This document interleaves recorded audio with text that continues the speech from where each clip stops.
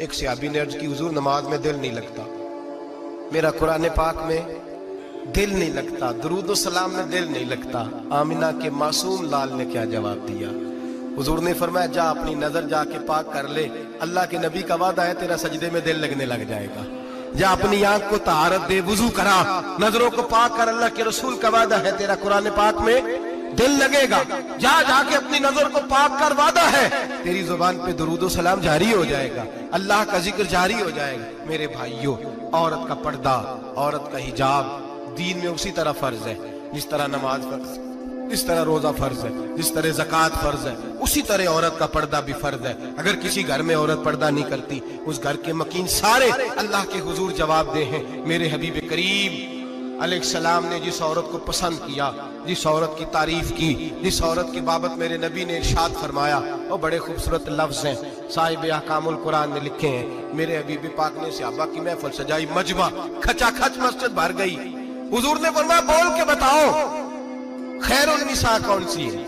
औरतों में सबसे अच्छी बीबी कौन सी है? बोल करके बताओ। हज़रत सिद्दीक अकबर से लेकर मौला अली तक, हज़रत अली से लेकर जनाब बिलाल तक हज़रत सलमान फारसी से लेकर अब्दुल्ला मुजनी तक भरा पड़ा है मजमा। हुजूर ने फरमाया, बोलो, सबसे अच्छी औरत, सबसे अच्छी औरत कौन होती है?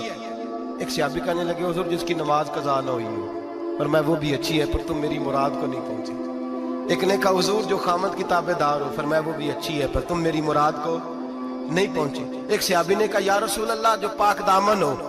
हजूर ने फरमाया, तुम मेरी मुराद को हज़रत अली फरमाते हैं, जब सबके जवाब गलत हो गए तो मैं कद मेरा छोटा था, मैं पीछे बैठा था।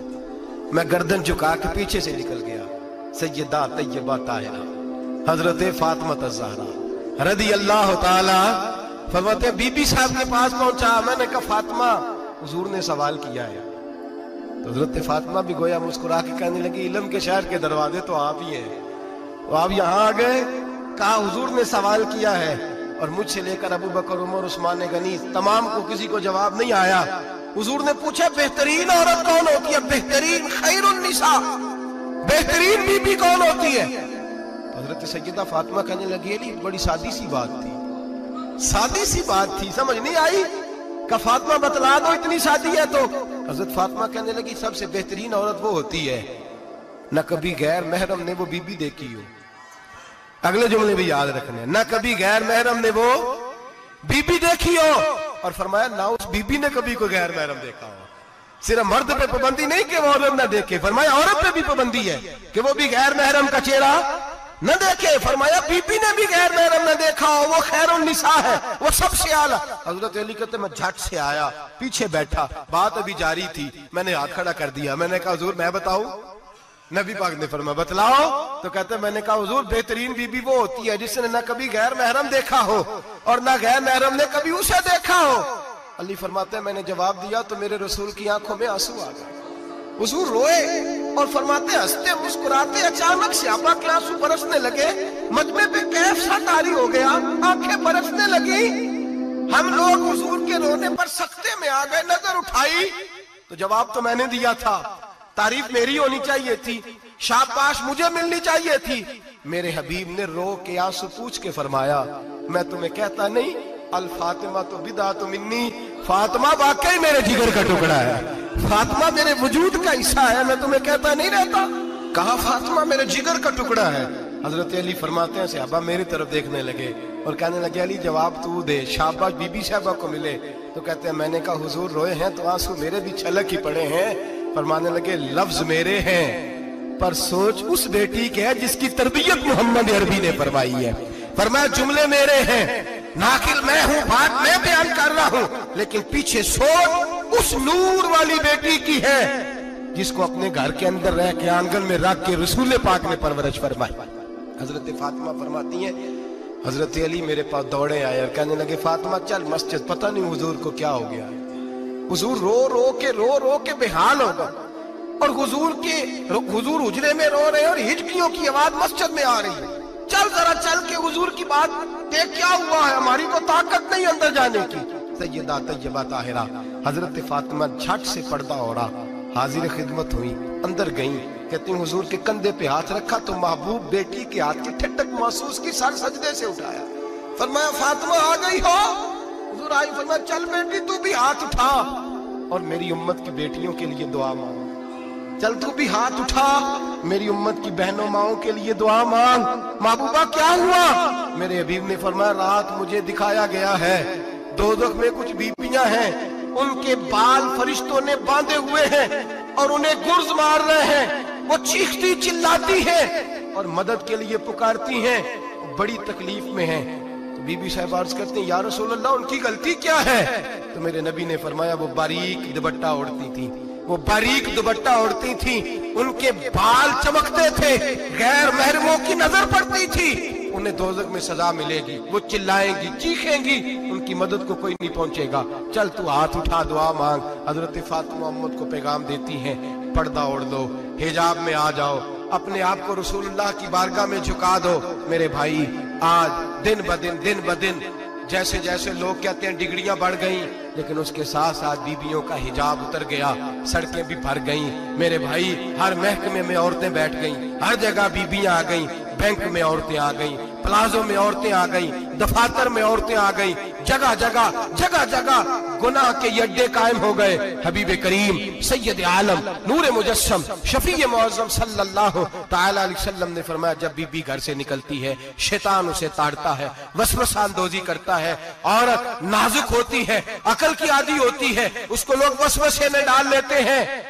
पाकिस्तान का तजदिया निगार कहता है अगर 100 फ़ीसद पसंद की शादियाँ होती हैं, उनमें 40 फ़ीसद लड़के अपने घर वालों को मजबूर करते हैं 60 फ़ीसद लड़कियाँ मजबूर करती हैं 60 फ़ीसद उनके अंदर ऐसी शैतानियत भरी जाती है, कमज़ोर अकल होती है, उसे ऐसे ऐसे बागात दिखाए जाते हैं, उलझ जाती है, और जिस तेज़ी से ये जाली नका होते हैं, उस तेज़ी से तलाक होती है। वो बेटी जो काली चुंगल में फंस के, जिद्दत के चुंगल में अपनी मर्ज़ी करते हुए मैदान में निकली थी, सारी ज़िंदगी का धब्बा। लगा के घर बैठ गई। लड़का तलाक दे के भी पाक का पाक ही रहता है और बेटी की मंगनी भी टूट जाए तो लोग कहते हैं कोई ना कोई बात तो होगी। ऐसे थोड़ी हो जाता है, बेटियों, तुम्हें रुसवा किया जा रहा है। बहनों, तुम्हारी इज़्ज़त से खिलवाड़ हो रहा है। तुम्हें बाज़ार की जीनत बना के तुम्हारे असल मकाम से तुम्हें गिराया जा रहा है। तुम समझ रहे हो, हम जदीद हो गई। लेकिन तुम्हारा नुकसान हो रहा है। तुम्हें रुसवा किया जा रहा है। आओ दरे रिसालत माप पे, आओ मेरे नबी पाक के दरवाजे पे। मेरे हबीब ने फरमाया जिस बीबी में चार खूबियाँ हो। कितनी हो जी? ये आपने दुआ कर दी अल्लाह करे मेरी बेटी में चारों खूबियाँ आ जाए। अल्लाह करे मेरी बहन में चारों खूबियाँ आ जाए। अल्लाह करे हमारी घर की मस्तूरात में ऊँचा अमीन कहिए, सब में चार खूबियाँ। अल्लाह करे मर जाए चार खूबियाँ। मेरे अबीब ने फरमाया, जो बीबी जरूरियात दीन का इल्म जानती हो, दूसरी खूबी उस बीबी के अंदर ये हो कि वो बीबी अपने खामन को राज़ी करने वाली हो। तीसरा फरमाया उस बीबी में खूबी ये हो कि अल्लाह के मुहर्रमात का ख्याल रखती हो, हराम में ना पड़ती हो। चौथा फरमाया, पर्दे की पाबंद हो। फरमाया, जैसे ही वो मरती है, अर्श का मालिक उससे हिसाब ही नहीं लेता, उसे बगैर हिसाब किताब ही जन्नत अता फरमा देता है। जो पर्दे की पाबंद हो, खामद राज़ी हो, मुहर्रमात से बचती हो। फरमाया, वो बीबी, अल्लाह तबारक वाली उससे कोई हिसाब किताब, बगैर हिसाब के अल्लाह उसको जन्नत में दाखिल कर देंगे। रब हिसाब नहीं पूछेगा। अल्लाह करे, मेरी बेटी भी बगैर हिसाब जन्नत जाए। माए बहन बीवियाँ बगैर हिसाब जन्नत में जाए। अल्लाह करे, हम सब के घरों में जितनी औरतें हैं, उनसे कोई हिसाब ना लिया जाए। बगैर हिसाब ही जन्नत में जाए। फिर उन्हें पर्दे का पाबंद करो, फिर उन्हें शोहर की ताजीम सिखाओ, फिर उन्हें हराम से बचना सिखाओ, फिर उन्हें रसूलुल्लाह सल्लल्लाहु अलैहि वसल्लम की बेटी का उसवा नूर सिखाओ, फिर उन्हें हज़रत आयशा की सीरत पढ़ाओ, फिर हज़रत खतीजतुल कुबरा का तरीका बतलाओ, फिर उन्हें रसूलुल्लाह की कनीजाएँ बनाओ।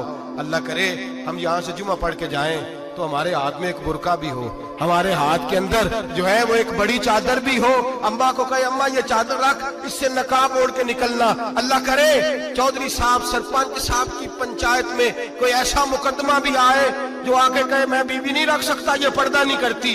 ये कहीं मुझे भी अजाब में मुबतला ना करे। अल्लाह करे, शोहर इस तरह का गैरतमंद बने, वो कहे, खबरदार खबरदार। अगर तू दरवाजे से निकली, आला हज़रत, इमाम आल सुन्नत मुजद्दीन मिल्लत, मेरे आला हज़रत से किसी ने पूछा था हज़रत जी, बीबी नात पढ़ सकती है? फतावा रजविया की चौदहवीं जिल्द, बीबी मिलाद पढ़ सकती है, मिलाद? आला हज़रत ने फरमाया, अगर बीबी मिलाद पढ़ रही हो, नात पढ़ रही हो और उसकी आवाज़ गैर महरम के कानों तक जा रही हो।